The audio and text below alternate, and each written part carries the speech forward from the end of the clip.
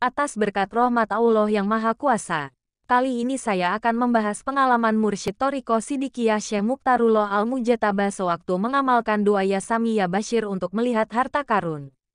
Ketika itu beliau bercerita saya pernah menyewa tanah di Trowulan, tepatnya di desa Kraton Kecamatan Trowulan untuk membuat batu bata. Biaya sewanya waktu itu hanya 400 ribu rupiah.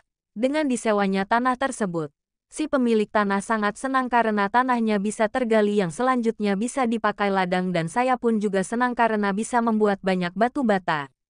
Suatu saat ketika saya meninjau lokasi pembuatan batu bata sambil membaca Yasami Ya Bashir, saya melihat ada suatu benda yang aneh seperti wadah celak. Maka langsung saya ambil dengan berkata kamu saya ambil. Sesampainya di rumah saya bersihkan ternyata terbuat dari emas. Lalu dibeli orang seharga 50 juta rupiah. Sebenarnya di Jawa Timur ini masih banyak benda-benda berharga yang terpendam, baik yang terbuat dari emas maupun lainnya.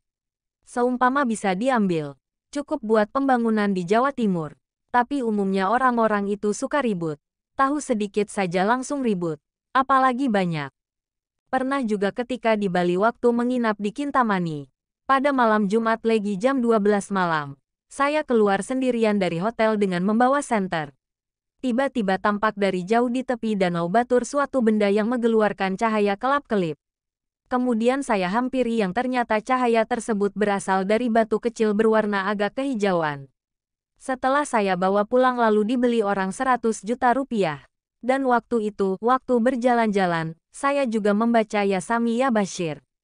Karena itu, kalau kita berada di suatu tempat yang dianggap ada sesuatunya, supaya baca Yasami Ya Bashir. Bukan ya Bashir, tapi ya Bashir. Kalau ya Bashir artinya maha mengembirakan. Sedangkan Bashir artinya maha melihat. Yang maksudnya supaya kita mempunyai penglihatan hati. Itulah di antara pengalaman saya ketika membaca Yasami Ya Bashir. Bisa mengetahui benda-benda berharga. Terkadang meskipun tahu tempatnya, belum tentu bisa mengambilnya. Karena biasanya dijaga oleh para jin. Jadi harus perang dulu dengan penunggunya. Mengenai jin, pernah ketika saya pulang dari Tapen sekitar jam 12 malam dengan mengendarai sepeda. Begitu masuk Jatirowo tiba-tiba muncul kepala tanpa tubuh yang terus mengikuti saya. Akhirnya saya berhenti dan berkata, kepalanya kok cuma satu, tidak seribu sekalian. Lalu kepala yang tanpa tubuh itu hanya meringis saja. Sekian pengalaman Mursyid Toriko Sidikiyah Syekh Muktarullah Al-Mujataba sehubungan dengan amalan doa Yasami Ya Bashir.